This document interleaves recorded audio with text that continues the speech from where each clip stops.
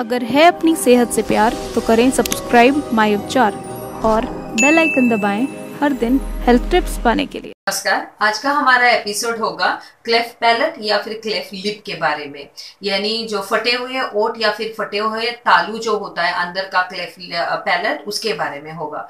बहुत लोगों को एक गलत फहमी है कि अगर गर्भवती महिला ने सूर्य ग्रहण के टाइम कुछ काटा या फिर फाड़ा या फिर घर से बाहर घूमने गई तो होने वाले बच्चों को इस टाइप के फटे हुए ओट या फिर फटे हुए तालू या फिर क्लेफ पैलेट हो सकता है। ऐसे कुछ भी नहीं, ये पूरी गलत फहमी है। आपको एक याद रखना है, ये ऐसी चीज़ें हज़ारों में एक बच्चे को होता है और उन बच्चों में ज़्यादा होता है जिनके माता पिता किसी एक को या फिर दोनों को भी ऐसे फटे हुए ओट या कुछ हो, या फिर उन लोगों में जिनका विद इन फैमिली शादी हुई होती है, जैसे मामा के लड़के से शादी हुई या फिर मामा से शादी हुई, ऐसे लोगों में भी इस टाइप के चांसेस होते हैं। ऐसे नहीं कि हर एक को होगा ऐसे वाला बच्चा, पर चांसेस ज़्यादा बढ़ जाते हैं। हम इनको कॉन्साइमिनस मैरिज कहते हैं।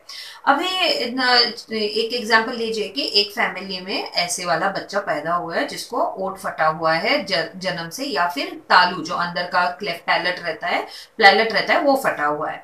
हमको पता है कि जब हम बच्चा पैदा हुआ, बच्चा माँ या पिता को दिखाते हैं, उनको कितना आनंद होता है, बहुत आनंद होता है। उनको जब अपना खुद का बच्चा देखते हैं। वैसे ही अगर फटे हुए ओट का या फिर फटे हुए पैलेट का बच्चा पैदा हुआ तो पेरेंट्स को बहुत शौक लगता है। हमने एक एक बार तो ये देखा है कि बच्चे को देखने के बाद पेरेंट्स have फेंटेड वो बेहोश होके गिर गए। ऐसे भी हमने देखे हैं क्योंकि उनको अंदाज़ा नहीं रहता कि हमको ए, बच्चे को ऐसी टाइप का कुछ प्रॉब्लम है। एक तो डरने की कुछ ज़रूरत नहीं है साइंस ने बहुत प्रगति की ली है और इस टाइप के बच्चों को हम बहुत अच्छी तरह से हैंडल कर सकते हैं। पीडियाट्रिक सर्जरी सर्जरी डॉक्टर्स रहते हैं जो इनका सर्जरी कर, सर्जरी करके इनको ठीक करवा देते हैं।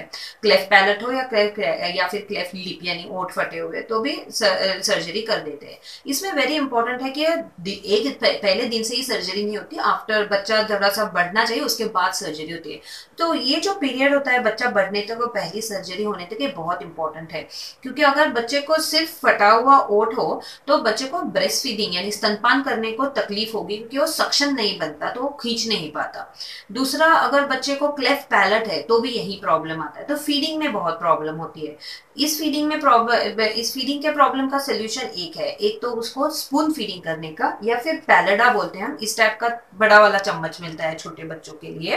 तो इससे आप फीडिंग कर सकते हैं। इसमें ज़्यादा दूध आता है तो ये पिलाने के लिए दे सकते हैं। ये पैलेडा फीडिंग है। क्लेफ पैलेट के बच्चों में प्लीज़ बोतल मत यूज़ कीजिए। अगर एज बच्चे जिनका ओट ठीक होता है पर सिर्फ़ तालु यानी अंदर का पैलेट ही क्लेफ्ट है तो इन बच्चों में आपको ओरल ऑक्लूडर मिलता है। यानी एक प्लास्टिक जैसी या फाइबर की एक ये पैलेट के आकार के ये प्लास्टिक का ये मिलता है ऑब्जेक्ट, जो आप मुँह के अंदर लगा सकते हैं और फिर उसके बाद बच्चा ठीक से दूध पी सकता है या फिर इवन स्तनपान कर सकता है। अगर उसके ओट ठीक हो तो अगर ओट फटे हुए तो इसका, इससे तकलीफ़ हो सकती है, उसको खींचने में तकलीफ़ होगी। ये ऑक्लूडर जो होता है, जब बच्चा दूध पीता है तभी डालने का, दूध पीने के बाद निकालने का होता है। क्लेफ पैलेट हुए बच्चे को कभी भी खिलाना खिलाते हैं तो उसको एक एंगल पे रखना चाहिए। सुलिया के नहीं देना है एंगल पे रख के बच्चे को दूध पिलाना है। जैसे ही बच्चा दो तीन महीने का होता है, उसका पहला स्टेज सर्जरी हो जाता है।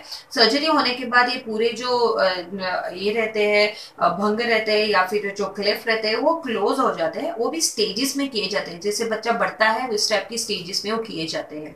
तो पीडियाट्रिक सर्जरी का इसमें बहुत इंपॉर्टेंट काम रहता है। दूसरा पीडियाट्रिक डेंटिस्ट का भी रहता है, क्योंकि वो फिर जब बच्चे को दांत आने लगेंगे देंगे तो वो, वो दांतों की केयर लेते हैं। अगर वो प्रॉब्लम है कुछ तो आपको सलाह देंगे कि क्या करना है। तो सबसे इम्पोर्टेंट आपको क्लेफ पैलेट या क्लेफ लिप में याद रखना है प्लीज़ डरिए मत। प्रॉपर सलाह लीजिए। सर्जरी तो करनी ही करनी है उसमें कोई गुंजाइश नहीं है।